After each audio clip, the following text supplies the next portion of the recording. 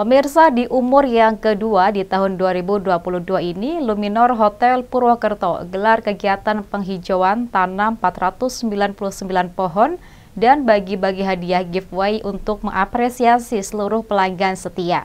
Serta sebagai bentuk rasa syukur, Luminor Hotel Purwokerto juga gelar doa bersama dengan harapan agar negeri ini segera pulih dari COVID-19. Mengusung tema Together We Care, berbagai rangkaian kegiatan CSR Luminor Hotel Purwokerto yang dibuka untuk umum, salah satunya kegiatan donor darah yang bertempat di Luminor Ballroom disambut baik oleh PMI Banyumas. Kegiatan donor darah diikuti oleh karyawan hotel, beberapa instansi dan masyarakat Banyumas ini berhasil mengumpulkan sebanyak 63 kantong darah.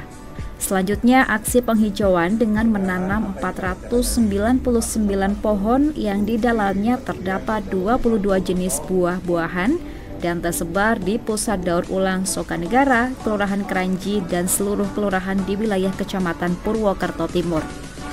General Manager Luminor Hotel Purwokerto Rio Noviando Aceh berharap penyelenggaraan aksi penghijauan ini dapat membantu pemerintah daerah dalam melaksanakan gerakan menjaga dan melestarikan lingkungan hidup.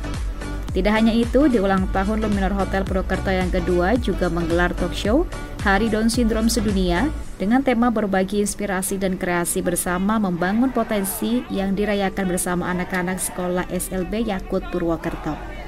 Rio Noviando Aceh selaku General Manager Luminor Hotel Purwokerto mengapresiasi seluruh pencapaian para karyawan yang dengan baik dan mampu mempertahankan kinerja di tengah kondisi pandemi COVID-19.